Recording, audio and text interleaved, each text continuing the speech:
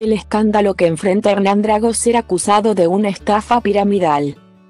En estos últimos años el negocio de inversiones sobre todo en criptomonedas se volvió muy famoso y en el país hay muchos de estas empresas inversionistas que proponen a las personas invertir justamente un monto de dinero con la promesa de que su capital crecerá.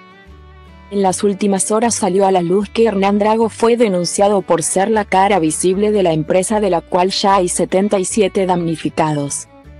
El modelo hace dos años promocionó una plataforma de inversión en criptomonedas y al poco tiempo de transcurrida esa publicidad, la empresa desapareció y no se supo nada más. Lo que complica a uno de los jurados que participa en Bienvenidos a Bordo es que podrían accionar contra él por el hecho de realizar publicidad engañosa. En el programa a la tarde, estuvo presente el abogado de los damnificados, Pablo Chiesa quien comentó, contrataron a Drago como figura pública para atraer a la gente. Hoy hay 77 damnificados, según cuenta muchas de esas personas llegaron a invertir en el lugar porque Drago les generó confianza.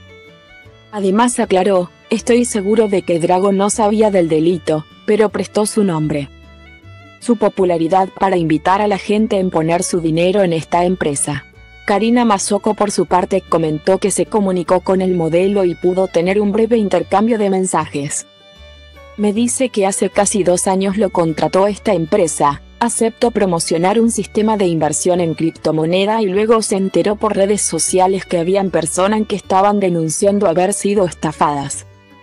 Además la conductora aclaró, él es un damnificado más. No es que llevó un puchito de sus ahorros.